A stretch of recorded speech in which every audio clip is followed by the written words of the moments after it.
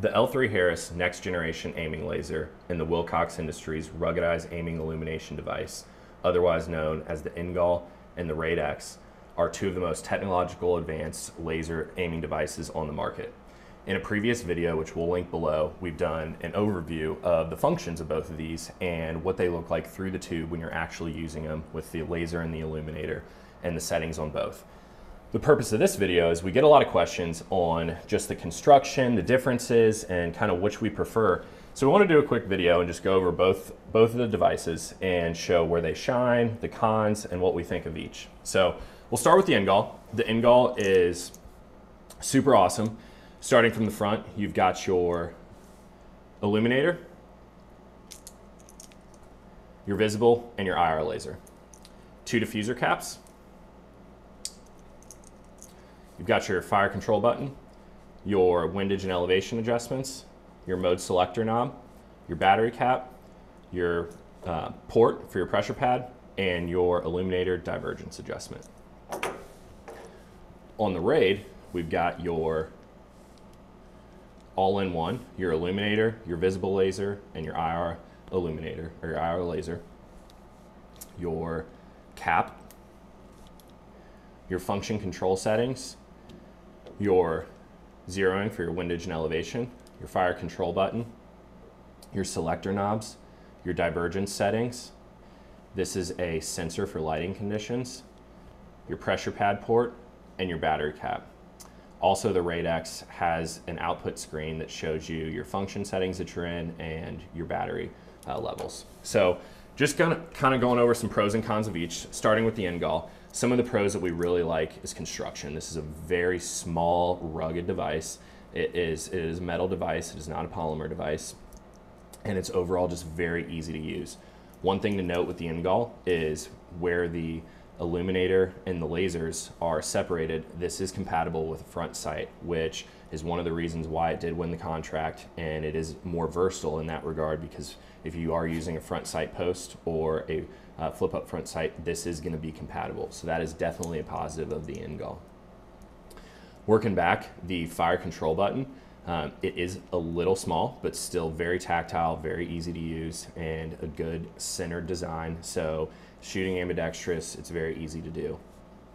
Your windage and elevation adjustments, they are a little small. So one thing that we will note, and there's uh, something about the RAID that's hard to do in the field that we'll get to in a second, but one thing that is hard to do in the field with things unless you plan for a very small screwdriver is zeroing this without a specific screwdriver because this is a flathead uh, screw and it is very small. So one thing to note if you are going to use the NGAL is to have a very small, uh, say like a watch or a sunglass screwdriver in your kit because you are going to need that to zero this device.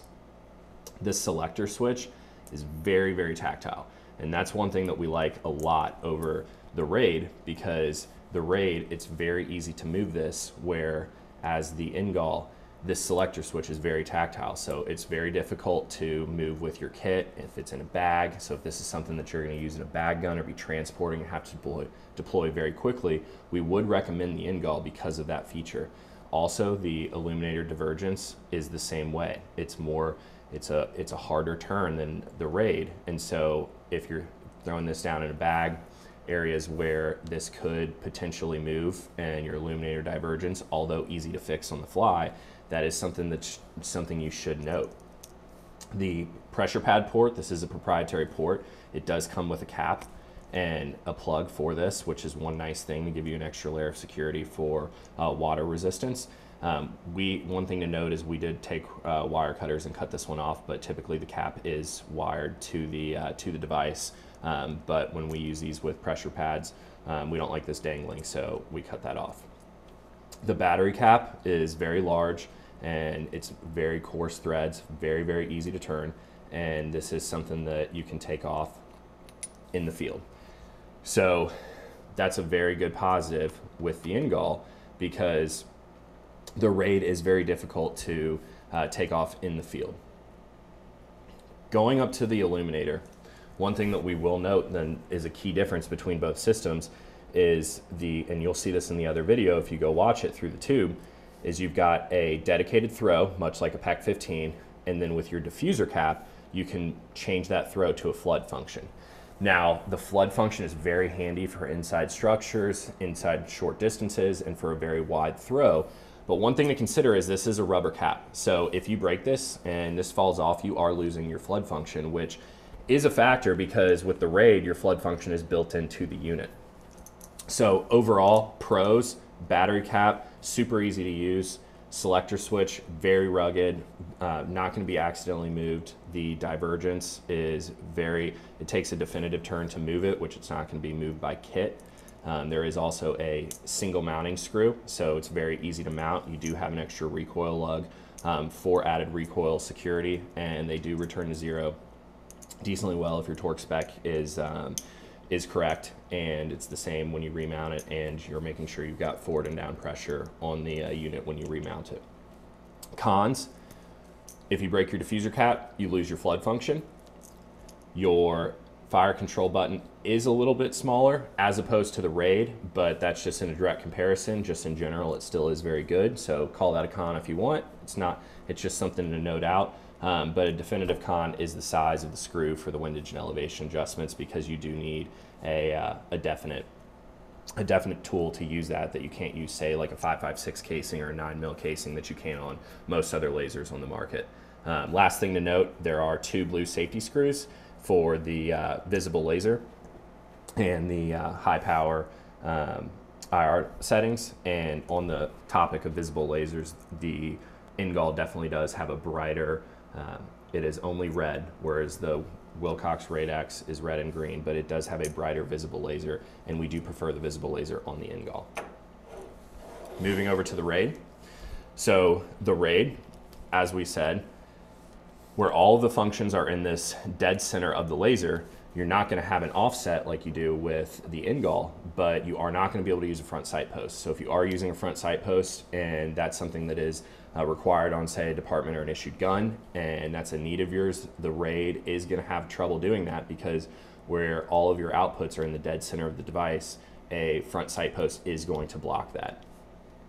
There are no diffuser caps, so um, like we said, the flood function of the illuminator is in the device, which is very, very nice because there's that's not something that you can lose unless your actual laser goes down. So definitely a positive of the RAID arguably the nicest feature of the RAID is these selections right here. So what this is, this is a um, variable control output for your uh, illuminator and your lasers independently. So what that means is you can control the output strength on your illuminator and your laser independent of each other. And why that's important is if you're looking at photonic barriers, which means lighting sources that you've got to push through, um, say you need a full power illuminator, but you don't want to have just a crazy screaming hot um, laser.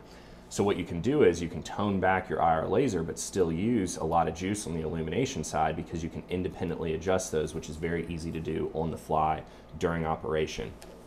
So to note how you can do that on the NGAL, one thing we didn't say is if you do want to use a full power illuminator, but you want to tone back your laser, you are going to have to use your diffuser cap, which does have the same uh, downfall as the flood function because you can lose that and you lose that function. So very nice feature on the RAID, something we definitely like and honestly use a lot because those of you that have used say like a full power PEQ 15, if you put that up in dual high and you're not using a diffuser cap, which is a set setting, you can't really change that. So sometimes the diffuser cap brings it too low you can tone in that laser, which is super nice. And we, uh, frankly, we use that all the time. The um, windage and elevation adjustments are right here, and you can use a 556 casing in the field, so much easier to use um, in the field and much easier to, to zero without a specialized tool. Your mounting is going to be done with two mounting screws and two rails. So much like the single and the recoil lug, you've got two rails here, so both are very secure mounting solutions and both return to zero decently well. Obviously, we, you would want to check your zeros and all that, but um, if using the same torque spec, but you are going to have two screws, so that is an extra mounting point that you are, are going to have to do, so it's not necessarily as fast as the end NGAL. So the selector switch, um, move into some cons, like we said, this is very easy to move. Um, and it is something that you can move with kit or a bag or um, just accidentally. And that is something to keep in mind because that is a factor. So if you think your laser's off and it accidentally clips up into an on position, then your battery can die and does happen because if your laser is left on, these batteries do die very quickly, and that's with any laser. But where you've got the more tactile clicks on the end doesn't come into play as much.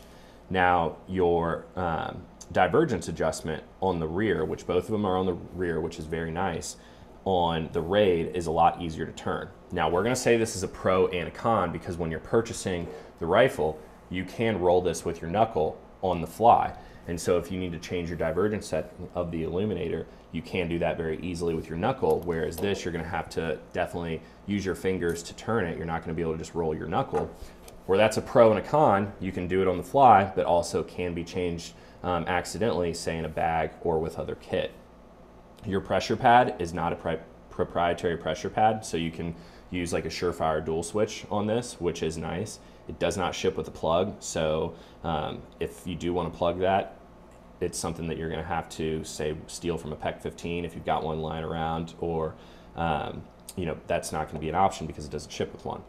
The battery cap very very difficult to use. So this is not just your standard. Uh, this is not just your standard thread. It is a quarter turn and a detent. So offset out of the off the weapon, it doesn't look as hard to use. But if this is mounted up towards a flashlight really close and where it's shrouded right here, it is almost impossible to get any leverage on it to, if your flashlight's tucked up close, to change this in the field. So we find ourselves taking these off rifles to change the battery.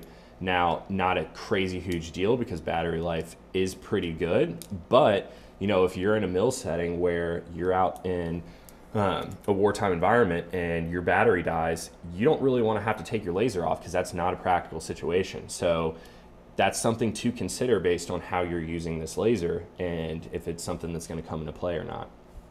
Now, so this is that's probably the biggest downfall of the Raid in our opinion. Now, the, this little OLED display, it's uh, it is nice and it is handy. It uh, it can be shut off if you don't want any uh, any shine from that screen and it can be um, adjusted down so it's a lot smaller, which it does adjust the display. But this is gonna show you your setting that you're on, your function, and your battery life. So is nice to have. You can hide it if you need to, so it's not a negative, but is definitely a positive. Overall, both great lasers. We love them both. We use them both. We use both extensively. Um, really, it just comes down to your application and kind of pick your flavor. Honestly, the uh, there's some debate on our team whether which one we like better. Some of us like the NGAL, some of us like the Raid, and for various reasons. But both shine, as you can tell, in different different ways, and both have definitely some negatives.